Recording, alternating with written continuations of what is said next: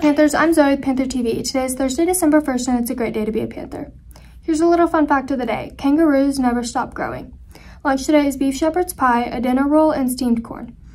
Today there's Scholars Bowl at Hesston at 4 p.m. Tomorrow there's debate at Maize, basketball at home versus Buhler at 4.30, and JV wrestling at McPherson at 4.30. Saturday there's debate at Maize and KMEA District Honor Band and Choir performance. Congratulations to Katie Ruckman for winning the brochure contest in Mr. Simmons' class. The Nickerson Varsity Scholars Bowl team defeated each of the top three finishers to finish with a 4-4 record at the Sterling Invitational Tuesday night.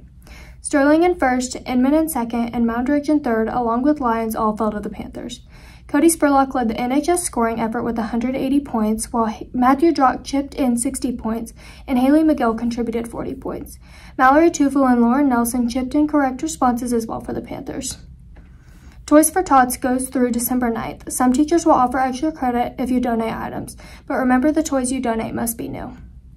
Seniors, your toddler pictures are due today. Get them turned in. They can be turned in on Google Classroom or if you have a physical copy, bring it to Mrs. Stout so we can get it scanned in and return your picture. Tomorrow's home game theme is Camo Night in honor of Mr. Jones. The reindeer games are coming. This is a festive dodgeball tournament that is great to watch or get a team and participate. December 19th, see Mrs. Stout for more details. If you have news to share with us, then email us at panthertv at usd309ks.org. Be watching our Instagram stories to see our Panther Proud sponsors and watch for our daily polls.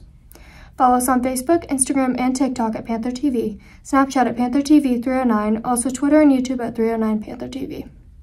We will keep you updated on NHS happenings. Go make today a great one, Panthers.